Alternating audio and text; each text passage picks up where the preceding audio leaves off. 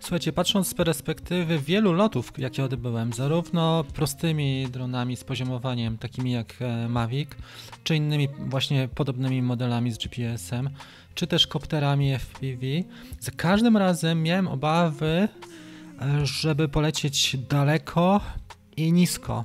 Za każdym razem wiedziałem, że może przydarzyć mi się coś nieszczęśliwego. I do tej pory nie odnalazłem takiego koptera, który sprawdziłby mi się w 100% w takiej sytuacji, kiedy lecę na przykład poprzez las nisko nad wodą, typu pół metra czy metr nad lustrem wody i lecę tak mniej więcej 200, 300, a nawet 400 metrów.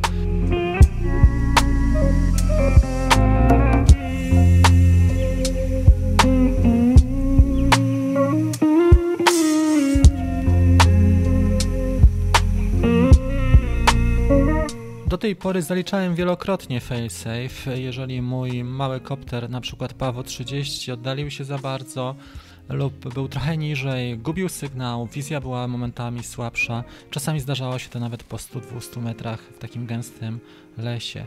I właśnie Awata jest odpowiedzią na to. Ja muszę powiedzieć, że kupując ją, byłem pewien dwóch rzeczy, a mianowicie, że wizja i zasięg będą brzytwa i są brzytwa, bo ktoś powie 400 metrów to jest nic, jeżeli latamy Maviciem, owszem, ale jeżeli latamy przez gęsty las pomiędzy konarami drzew, pod konarami, wiszącymi drzewami rachitycznymi, które opadają w kierunku wody, jeżeli masz taką pewność, że nic ci się nie stanie, a nawet jeżeli wlecisz do wody, to masz DJI Care, masz ubezpieczenie, zapłacisz 100 e, euro i masz nowego drona praktycznie to takiej petardy jeszcze nie było. Wiele osób może powiedzieć, no dobra, to jest taka sobie cecha, ale jeżeli ktoś faktycznie lubi latać nad wodą, a ja bardzo lubię, to jest moja jedna z ulubionych e, właśnie form lotów.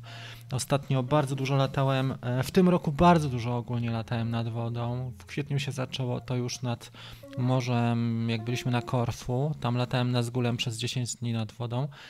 E, I tak wyrobiłem sobie wyczucie, że latałem praktycznie pół metra, ale nigdy nie miałem śmiałości, żeby tym Nazgulem polecieć dalej niż 200 metrów, bo miałem świadomość, że może się coś stać i że już go nie zobaczę. Tak właśnie z Awatą jest e, takie zachowanie, i praktycznie raz tylko straciłem zasięg, raz miałem tylko failsafe i to było na takiej zasadzie, że latałem nad górami i w tym momencie, kiedy zasięg się e, zerwał, to on przeszedł w, w tryb N, mogłem spokojnie nim e, polecieć, wyprowadzić go z tego manewru i nic się nie działo dalej. I to jest ta jedna cecha, o której chciałem wam powiedzieć. Druga cecha bardziej w kierunku easy, beginnersów, to jest cecha mega ważna, a mianowicie wartość społeczna e, tego zestawu.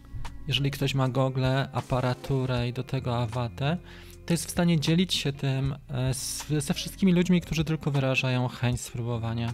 Ja już dzieliłem się z wieloma, myślę, że z kilkanaście osób przez ten miesiąc, kiedy nią latam i to jest mega fajne uczucie, jak widzisz, kiedy ludzie e, faktycznie cieszą się, po raz pierwszy doświadczają FPV, mają ten experience, to doświadczenie takie niezapomniane, pełnego zanurzenia i do tego sami są w stanie latać w trybie N, sami są w stanie ogarnąć te proste loty mawikowe i cieszy ich to i to naprawdę jest mega frajda, więc te dwie główne nie dla mnie wartości, jakie wniosła Awata, to jest przede wszystkim możliwość dalekich lotów nisko nad wodą, co dla mnie jest absolutną petardą. I druga to jest ta wartość społeczna.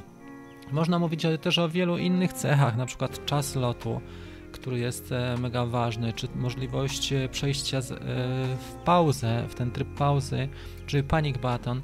Oczywiście tych cech jest dużo więcej, natomiast te, te dwie główne, które wyróżniam, to na bazie lotów, które do tej pory odbyłem, bo latając z wieloma, z wieloma ludźmi, ale też wybierałem się na takie fantastyczne wycieczki, które już wymagały specjalnego zastosowania i Awata tutaj spisała się jak najbardziej. Oczywiście są sprawy też, które mnie drażnią, to że ten obraz nie jest stabilny, trzeba by za każdym razem stabilizować w Gyroflow. Nie mam za bardzo przestrzeni do tego, żeby za każdym razem to robić, ale tak czy inaczej uważam, że ten dron jest wart zachodu i wart uwagi. Oczywiście z czasem Pewnie będą te zestawy trochę tańsze i też będą trochę lepiej złożone, bo motion controller, trzeba powiedzieć, no umówmy się, jest to pomyłka, jeżeli chodzi o zestaw oparty na tej, tym kontrolerze. Powinien być również zestaw do wyboru z normalną aparaturą, ale zapewne DJI wypuściło tak dużo tych motion controllerów, że nie wiedzieli co z nim zrobić. Słuchajcie, i to są takie przemyślenia dzisiaj e, przy piątku. Mam nadzieję, że trochę wspomniałem i pomogłem, bo wiele osób powie, no dobra, ten dron nic nie wnosi do świata FPV i pilotów, którzy już mają doświadczenie. Otóż właśnie tą cechą jest e, mega zasięg i kapitalna wizja. Uważam, że te dwie cechy, plus oczywiście czas lotu, e, są kluczowe i to, że możesz przełączyć sobie w każdej chwili w, tle, w tryb normalny i sfotografować sobie drona albo podejść do niego, zrobić sobie przerwę na kawę, czy ktoś cię niepokoi, Albo ty się źle poczułeś, czy, czy coś się stało wokół ciebie, choćby komar cię ugryzł, zawsze możesz przejść w tryb N i po pół minuty czy po chwili e, wrócić do swojego lotu. To jest petarda. Słuchajcie, dzięki za uwagę, wszystkiego dobrego życzę, miłego weekendu i widzimy się ponownie już wkrótce w kolejnym epizodzie. Cześć!